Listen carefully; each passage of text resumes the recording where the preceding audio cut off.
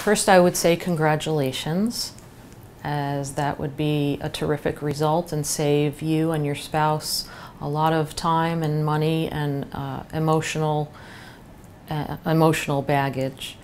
Um, if you reach an agreement in mediation, the mediator will put together those terms on what's called a memorandum of understanding,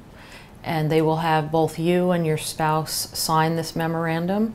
and then you and your spouse will take that agreement to an attorney who will put it into a formal agreement so you can get that filed with the court.